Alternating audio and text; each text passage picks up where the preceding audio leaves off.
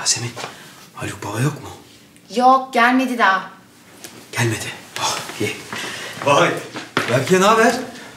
Olsun be abi. Nasıl gidiyor inşaat? Abi sıkıcı. Biraz ofiste takılayım dedim. Haluk Baba'ya ne yalan uydurayım diye düşündüm durdum. Yok o yok. Ee çay kahve bir şey içer misin? İşte bu Yasemin ya. İşte bu ya. Yani bu sözcükleri duymak istiyorum. Alırım bir kahve alırım. Yani ben ofis adamıyım abicim. Masa başı adamıyım. Kahve, çay, bilgisayar. Bu ya. Ne o? Buz gibi inşaat. Öyle duruyorsun. Baykuş gibi. Geliyor. Abicim ya bu geyiği ben hep duyardım. Ama ilk defa bizim inşaatta şahit oldum. Ya bizim Türk insanı çukur kazan kepçeyi seyretmeye bayılıyor abicim. Aa hoş geldiniz Haluk Bey. Aa, Bey. Hoş geldiniz babacığım. Ee, Haluk Bey. Ben de şimdi girdim. Be- Beş dakika falan oldu. O zaman niye ben seni iki saattir inşaat sahasında görmedim? Yani siz... Evet, inşaattaydım.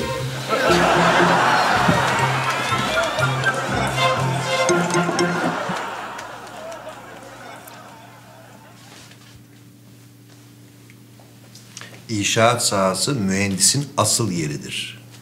Top orada oynanır ama senin aklın fikrin ofiste. Yok vallahi Haluk Bey. Yani ikisinde de bulunmak istiyorum. ve Tecrübe edinmek istiyorum. Sen ofiste mi olmak istiyorsun?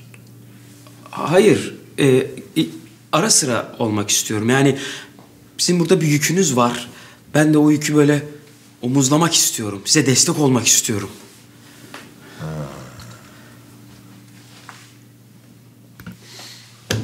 Aslında olabilir. Bizim de ofiste birine ihtiyacımız var. Gerçekten mi? Ah çok sevindim ben buna. Yani ofisteyim artık mı? Nedir durum? Evet ofistesin. Çok güzel ya. Çok sevindim şimdi ben.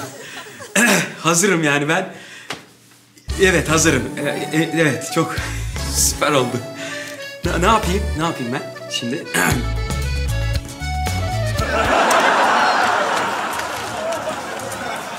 Çayınız Haluk Bey. Ha, sağ ol, sağ ol. Oh. Vallahi ofisin yükünü omuzlarına almaya başladın ha. Şey, e, ben burada böyle çaycı olarak mı şey edeceğim, çalışacağım? E tabii şu anda açık olan pozisyon bu. Çocuklar siz de bir şey içmek istiyor musunuz?